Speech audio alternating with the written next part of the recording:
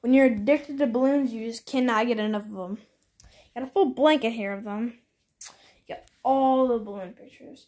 Go to Bavarian Lodge on Facebook. They have a page. Go there. They have all the good balloons.